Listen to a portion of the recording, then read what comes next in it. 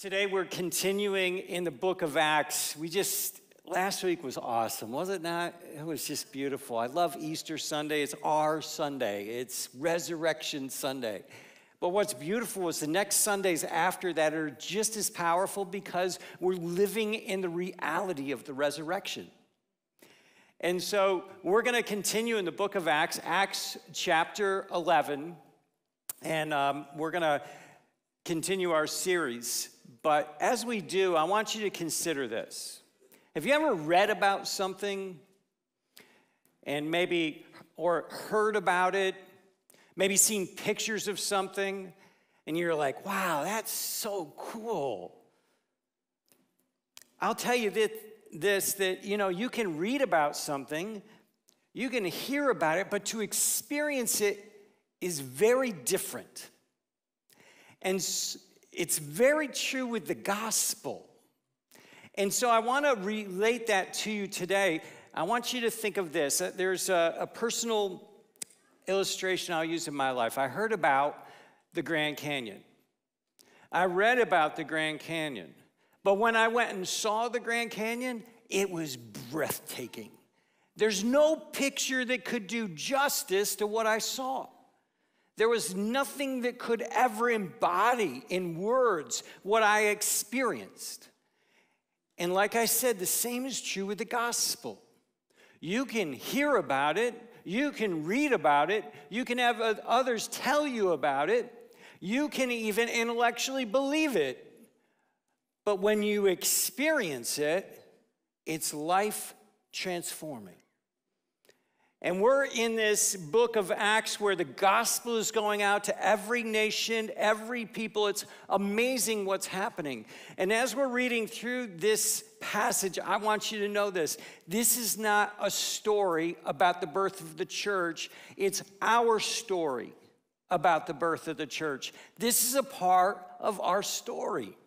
And so it's so exciting to begin. It's like taking the the picture album of the family and flipping it backwards and going, oh my word. You know, they really wore things like that back then. Um, and here we're taking and we're flipping back and we're seeing a beginning, a beginning of the church. In Acts chapter 11, I'll set the scene because I'm going to focus on just a couple of verses today. But the scene is Peter is hearing that there are a lot of Jewish believers that are troubled or challenged with the reality that the gospel is going to all these Gentiles or these non Jewish people. And so he reminds them in the first part of chapter 11, he says, Listen, I want you to know that God gave me this vision. And in this vision, he clarified to me that the gospel was something that was going to go to non Jewish people because it was for everyone. He makes some incredibly powerful statements, and we're going to look at them in a few moments in regard to that. But as he does that, they decide that some of these believers in these Gentile regions needed to be led. They needed some leadership, and so they send Barnabas. And Barnabas goes out and he begins engaging these new believers, and this is where we're going to pick up the story. So we're going to look at verses 19 through 26 of chapter 11. It says this Now, those who were scattered because of the persecution that arose after Stephen traveled as far as Phoenicia and Cyprus and Antioch, speaking the word to no one except Jews. But there were some of them, men of Cyprus and Cyrene, who on coming to Antioch spoke to the Hellenists also, preaching the Lord Jesus. And the hand of the Lord was with them, and a great number who believed turned to the Lord. The report of this came to the ears of the church in Jerusalem, and they sent Barnabas to Antioch. This is the verse we're going to spend most of our time. So Barnabas shows up. In verse 23, this is what it says When he came and saw the grace of God, he was glad. And he exhorted them all to remain faithful to the Lord with steadfast purpose. For he was a good man, full of the Holy Spirit and faith. And a great many people who were added to the Lord, and a great many people were added to the Lord. So Barnabas went to Tarsus to look for Saul, and when he had found him, he brought him to Antioch. And for a whole year, they met with the church and taught many people. And in, the, and in Antioch, the disciples were first called Christians. So if you've ever wondered, how did we get that name? There we go. That's where people were first called Christians. Three things that I want to encourage you with today is we're going to focus on what it means to experience the fullness of the gospel. Experiencing the fullness of the gospel. The first thing is found in the phrase in verse 23, and I want to highlight this that we must understand that the gospel is an act of grace. The gospel is an act of grace. Look at what it says when Barnabas arrives. The first thing that happens is it says, He came and saw the grace of God and he was glad. Well, what's it mean that he saw the grace of God and he was glad? I believe that what it was is he saw a picture of grace that he couldn't comprehend any time before. Meaning this, that people who were non Jewish had received the gospel, had received the Spirit, and the church was growing way beyond what he could think or imagine. And he saw that God loved people that were unlike him. It's pretty powerful. Remember his vision? The sheet comes down, and, and God says two really, really powerful statements, and I'll refer to them right now. The first one is in verse 9. And he says this What God has made clean, do not call uncommon. And he is reminding them that this grace of God given to the Gentiles was done on purpose, intentionally, because God does not see people who are non Jewish to be unclean, that the gospel was for everyone. It's pretty powerful. Verse 17, he, he then speaks to these Jewish people and he reminds them this. He says, God gave him the same gift of the Spirit that he gave to us when we believed in the Lord Jesus Christ. And he makes this statement Who was I that I could stand in God's way? So he's kind of laying it down. He's reminding them this isn't about a Jewish belief. This isn't just about a Jewish Messiah. This is about the Messiah who came to redeem all people, all nations, all creeds, all morality. It's the gospel of grace. You know what grace means? It means getting what you don't deserve. Getting what you don't deserve. And as you look at these Jewish people, initially, they didn't want the Samaritans to have the gospel. They didn't think the Gentiles deserved the gospel. They were different, they were unclean. And God says, No, no, everybody has access to the gospel. And this is what's most important. By definition, none of us deserve it. None of us deserve it. Have you ever been in a situation you go, they're a unique person? You know, or uh, you, you see somebody who, who's different from you. Let's just get real for a minute. Who do we view as worthy of the gospel? Conservatives?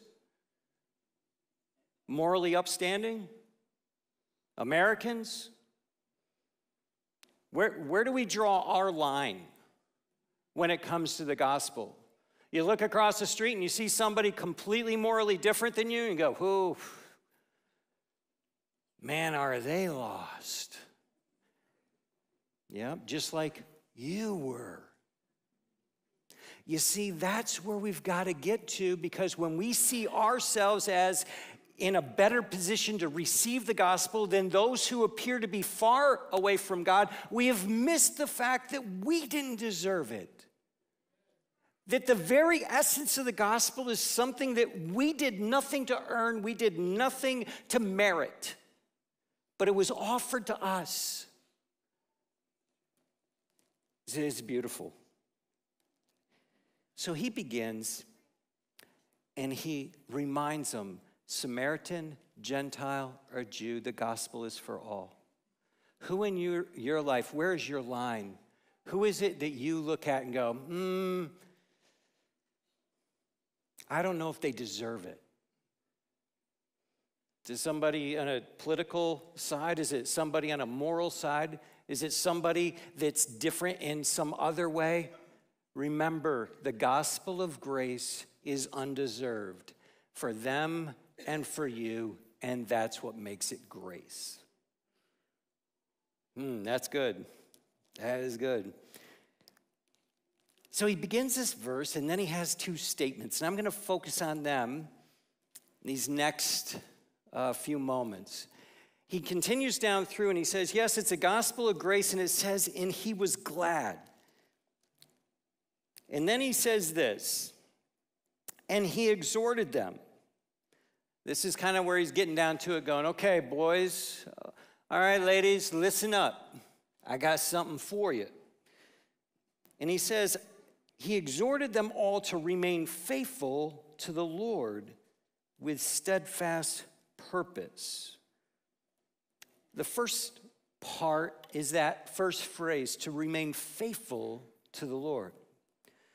I'm going to make a statement. I want, to, I want you to really hold on to this. We must understand that the gospel is more than a decision. All right? You there? The gospel is more than a decision. It's important that we recognize this, although it, it involves a decision, it's more than a decision. And so that's why Barnabas comes in and he doesn't go, You did it! Woo! He says, No, remain faithful. Remain faithful to what first you received. I look at it this way uh, I think of a wedding. I had a wedding yesterday, it was, it was great. I always love it when the bride and the groom are standing in front of me and they're peering into each other's eyes and they're like, little, you know, they're stars and they're just, you know, they're on another planet and they're just enjoying that moment. And I'm like, they have no idea. Love is blind, it's blind. And, and, and, and so, you know, they, they make these commitments, better or worse, rich or poor, sickness and health, you know, and all of this, and they make these commitments. And then it's like, woo, we're done, we're out of here. I did it, we're married. We don't have to worry about anything else, right? No. What happens is the wedding is the first step of a lifetime that they've committed to each other. Stick with me here. I want you to see this. When we confess Jesus as our Savior, it's our commitment, our decision. It's the beginning, not the end. Some people see, like, yeah, I accepted Christ 20 years ago. What have you done since then? I accepted Christ 20 years ago. I know. Are you serving him? Do you love him? Are you, you know, doing things to further his kingdom? I accepted Christ 20 years ago. Listen, I want you to hear this. A decision for Christ is not the end, it's the beginning. It's like the marriage vows, it's the commitment to a life that you're walking into. And so he says this. Barnabas says, remain faithful. Remain faithful. And what it, that means is, with a devoted heart, stay faithful to the person that you've committed to. Stay faithful to the person you've committed to. It's interesting as we look at this passage and we begin to understand the gospel. I want you to hear this. The beauty of the gospel is experienced when we make the decision, but I'm here to tell you, my wife and I, we've been married 33 years. We don't look that old. I know that, don't tell me.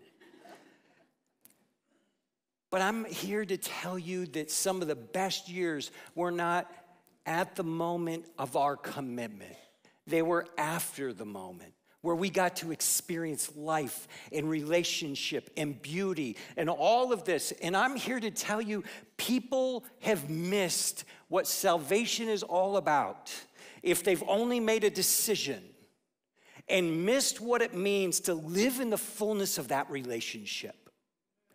It's not a finish line that you've crossed, it's a door that you've opened, a threshold that you're walking through to begin something beautiful that God intended for a lifetime.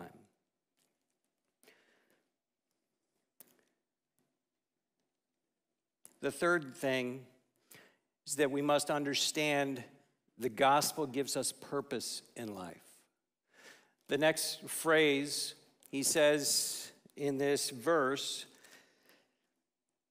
when he came, he saw the grace of God, and he was glad, and he exhorted them all to remain faithful to the Lord with what? With steadfast purpose. For he was a good man, full of the Holy Spirit in faith. People are looking for purpose in life. They're wondering, why am I here? What is this about? And I'm here to declare to you you don't define your purpose. You don't define your purpose. You can try. You can say, Well, I think my life should be about this. Your purpose is given to you by the God who created you. Listen, I can have a hammer, and maybe that hammer Although this hammer was made for a specific reason, it wants to be a screwdriver. And as much as I try to use it like that, it doesn't function well. The hammer is best used in the way the craftsman intended it, designed it, purposed it. And the same thing is true with us that with steadfast purposes, know why you exist. Know why you're here. Don't look back and wonder, what is life all about? Let God show you the purpose that He created you for. There's two areas of purpose that I want to just shed some light on. The first one is this it's the general purpose that we have as believers and that is to glorify God in everything and to share the gospel with those around us. That's, you, you don't get a choice. If you're a believer, that's one of the purposes that God has placed in us. Go represent me, share the gospel with the world. You're a missionary. You're a reflection of Jesus to the world. You're light in darkness. That's part of your purpose. So don't go to your job and say, man, I got to get out of there to hang out with some Christians. Go to your job and shine some light. Shine some light in your community, shine some light in your friend group. Most courageous thing you could ever do is in the midst of a friend group that is far from Jesus is share and shine the light of the gospel. Let them see something that's distinct and beautiful. Have the courage to do that. It's powerful. You want to talk about purpose? Purpose, that's your general purpose. Specific purpose is this God created you different than me, He created you different than any other person in this room. I admire engineers. Some of you here are engineers. I don't understand you. I don't get you. Everything's a chart, everything is a process. And I'm like, let's just do it. And they're like, mm, doesn't quite work that way. Here's the org chart. I'm like, what? Listen, I can't be you. And let's be honest, you can't be me. We'd be both really bad there. The reality is, God has given you something specific when He designed you. You didn't get a choice to your personality, to your gifts and your abilities. Oh, they're really good at this. Oh, they're really artsy over here. Oh, you ought to see them play sports. You ought to see them build a house. You ought to see the way they design. Listen, that's beautiful. You didn't create it. The God who created you, formed you, knit you together in your mother's womb, gave you those specific talents, those gifts, those abilities. And it's what we do with those that's most important. That's our specific purpose. That we take what God has woven into us and we say, God, I'm not using it for my kingdom, I'm gonna redeem it for yours. I'm gonna redeem it for yours. It's your specific purpose. There's a passage in Scripture in Matthew chapter 25, verses 14 to 30, that Jesus tells this parable. It's a story of the talents. He said he gave each one different, you know, set of talents. And the only thing he said was the requirement wasn't what I gave you, it was what did you do with what I gave you? And we could get to a place in life where we look back and go, I wish I, I wish, wish I would have used that for the kingdom. I wish I would have used that not just, you know, to fund this or accomplish that. I wish I would have used it for the Lord. See, your specific purpose is to take your talent, is to take your gifts, your abilities, the way God has formed you, and release them into God's hands and say, use them for your kingdom. Use them for your kingdom. Isn't that beautiful? So Barnabas shows up and he goes, I see the sea of grace. I see God's grace in this amazing way. That every person, every nation, every ethnicity, every morality, God has extended grace to. The gospel is available to everyone. And then he says, I want you to understand that the gospel is not just a decision. A decision is the first step in a lifetime of an experience of walking with Him and doing life with Him. And as you do to recognize the purpose that God has woven inside of you, I don't know who you are, how God has created you, but there's two people that know it specifically you and the God who created you. So don't search for purpose. I need purpose in life. I need this. Look at how God created you, release it for His glory, further His kingdom, and remember your general purpose is shine light in darkness, love people like God loved you. So I'll leave you with these three questions or statements the first one is this let your heart rejoice because God extended the gospel to you when you didn't deserve it. If, man, I, I just don't want to overlook that today. When we look in and we feel that God was lucky to have us, we're in some, we're in some trouble, my man. None of us deserved it. You can't earn it. And the reality is, it was a gift to every one of us. I don't care how moral you are, I don't care if you're an elder, a deacon, a pastor. All of us are sinners separated from God, and by the grace of God, He gave us what we didn't deserve. He offered us salvation. Mm. Rest in that, rejoice in that.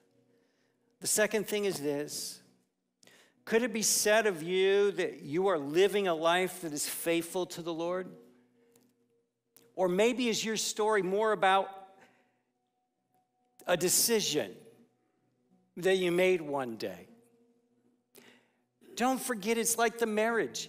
It's a decision that was intended to be a doorway to a lifetime of a relationship with the God who created you. It's like going to the Grand Canyon, that you will experience something that words could never embody. There is no better life than the Christian life to experience what it means to walk with God.